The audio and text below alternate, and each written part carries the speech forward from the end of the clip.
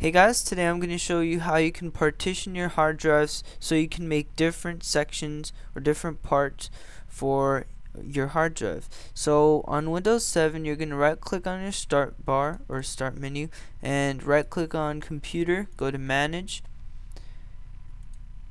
and then computer management window should pop up. Click on disk management under storage and it might take a second for all the information to load. So yeah just wait for that. And then you'll see all your hard drives. So once you see your hard drive you just um, select the um, hard drive you want to partition. Right click on it and click on shrink volume.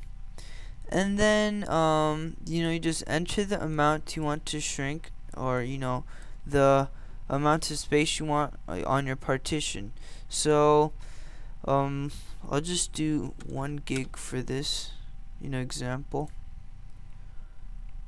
Alright so then you know we'll make a partition or you know partition. So next right click on it and click on new simple volume next and you know just fill in all the information all that stuff.